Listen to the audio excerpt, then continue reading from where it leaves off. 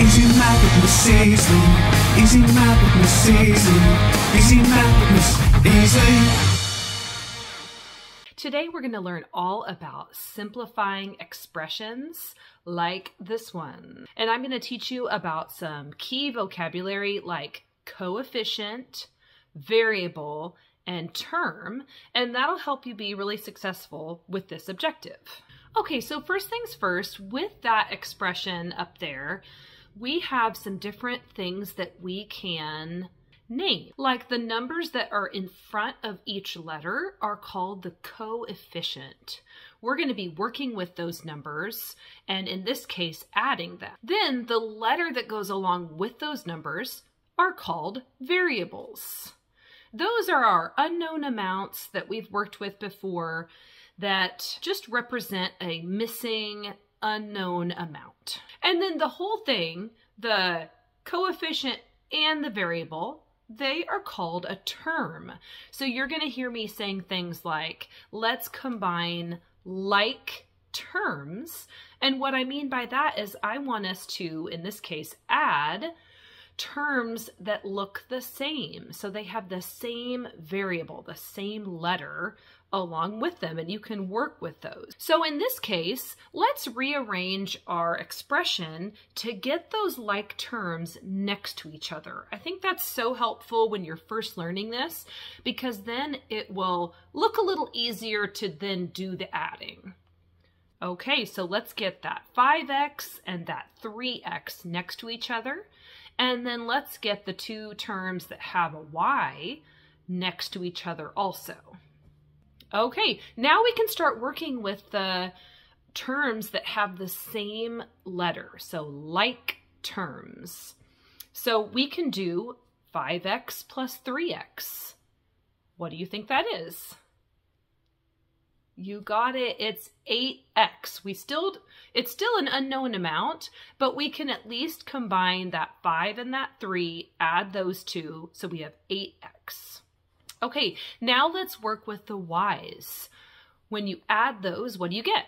All right, you are catching on. It's 5y. So we can simplify this expression down to 8x plus 5y. That's as far as we can simplify it without knowing what those two variables represent. All right, now I think we're ready to move over to the whiteboard.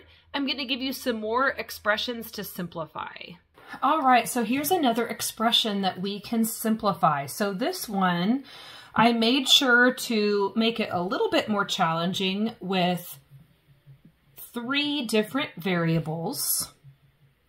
And I threw something a little different at us because this X and this Z, I don't know if you noticed, but it has no coefficient. So what do you think could go there? If there's no coefficient, how many of that variable do you think it's trying to represent? Okay, so some of us may have been thinking, well, there's just one x, right? So you could have a coefficient of 1, but we don't usually write it like that. We just put the x, just one of that variable to represent one. So that kind of makes sense. Once you get two of something, then you write a coefficient. So we can erase that. But if it helps you, I always suggest that you go ahead and write the one if it's going to help you. I might do like that. Okay, so that when we're combining like terms, it might make a little bit more sense. Okay, so what do you think, what do you remember from the last example that we should do first? Okay, awesome. We're going to rearrange things a bit to get the like terms next to each other. So I'm just going to start with my X's, and I see another one right here. So I'm going to move that over. Okay, I've got those two. Sometimes I cross them out in the original expression so I don't accidentally leave something out or duplicate something I shouldn't. So it could be good to do that. Okay, then I see the Y. Okay, are there any other Ys? Oh, yes.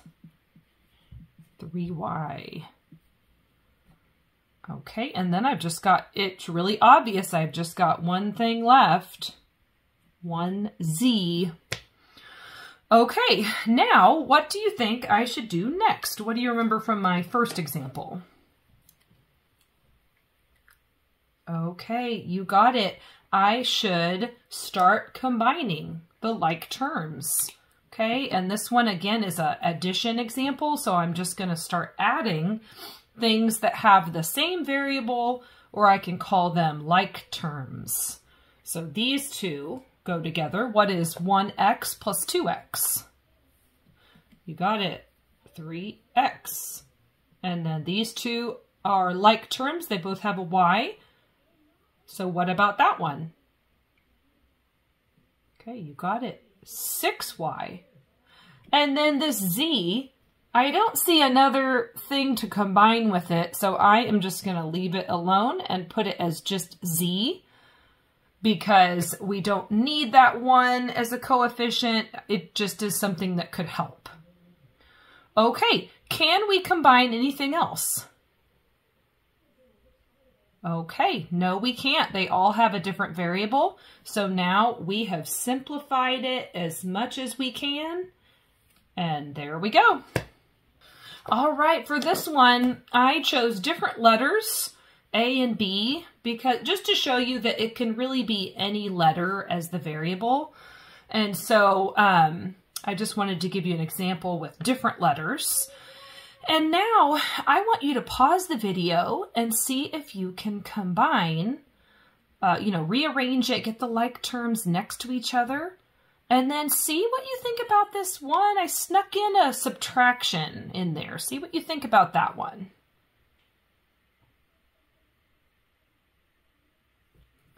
All right, let's check your work. First step I do is rearrange. I'm going to get all of the A's next to each other and I'm keeping the symbol, you know, the operation symbol with the term.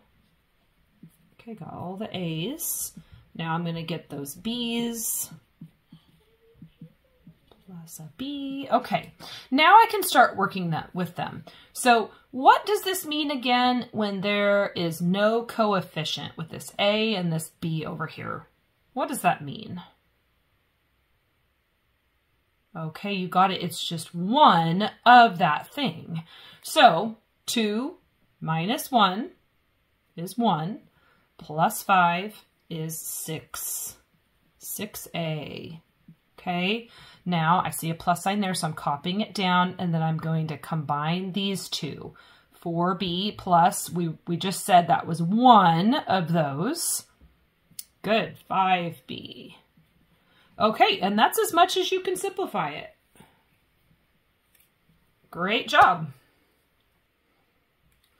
All right, here's another example. I want you to pause the video, see if you can simplify this expression.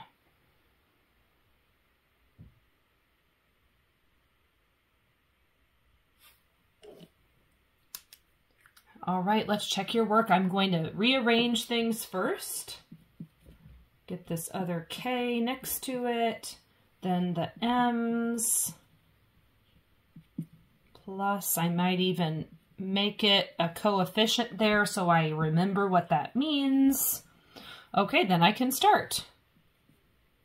This is just 1K plus 4M